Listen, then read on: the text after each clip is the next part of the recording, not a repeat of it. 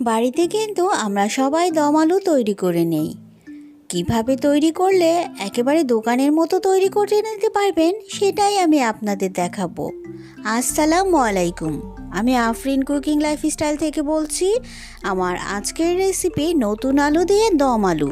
মূল প্রসেসে চলে যাচ্ছি। ওয়ান থার্ড কাপ রেগুলার তেলের সাথে ওয়ান থার্ড কাপ পেঁয়াজ বাটা, এক টেবিল চামচ আদা রসুন বাটা দিয়ে দেবেন। পরিমাণ মতো নুন দিয়ে খুব ভালো করে একটু ভেজে নেবেন।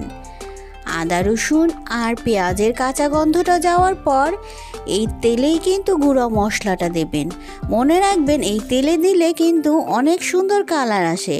মরিচের গুঁড়ো এক টেবিল চামচ, ধনিয়া গুঁড়ো এক টেবিল চামচ, টালা জিরা গুঁড়ো এক টেবিল চামচ চাট মশলা দিয়ে দেবেন এক টেবিল চামচ। এখন সব কিছু ভালো করে একটু কষানোর জন্য পানি দিয়ে দিবেন। কিছুটা পানি দিয়ে খুব ভালো করে কষিয়ে নেবেন।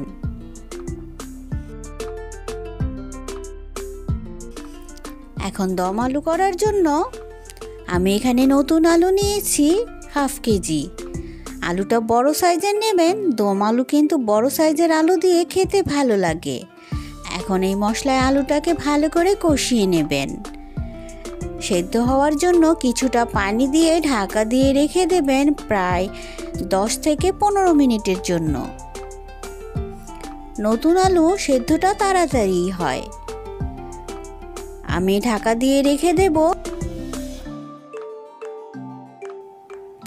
ফিরে এলাম প্রায় বারো মিনিট পর। এরই মাঝে কিন্তু মশলাটা একেবারে কষানো হয়ে গেছে। দেখুন, তেলগুলো উপরে চলে আসছে। আর আলুটাও একেবারে কুক হয়ে গিয়েছে। নতুন আলুর এই দম আলুর টেস্ট বাড়িয়ে দেওয়ার জন্য এর সাথে দিয়ে দেবেন ছোলা।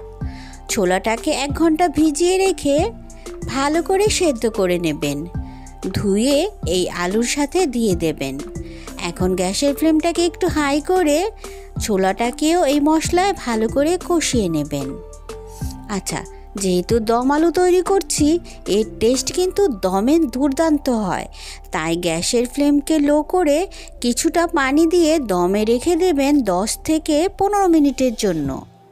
ফিরে এলাম দশ মিনিট পর। এরই মাঝে কিন্তু আমার দম আলু প্রায় তৈরি।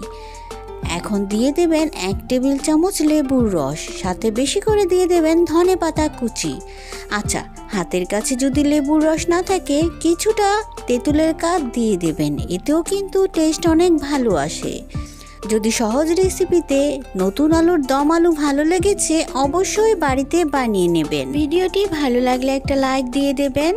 চ্যানেলে নতুন হলে চাইলে সাবস্ক্রাইব করে পাশে থেকে যেতে পারেন। নতুন আরও একটি ভিডিও দেখার আমন্ত্রণ রইল। সবাই খুব ভালো থাকবেন। আল্লাহ হাফিজ।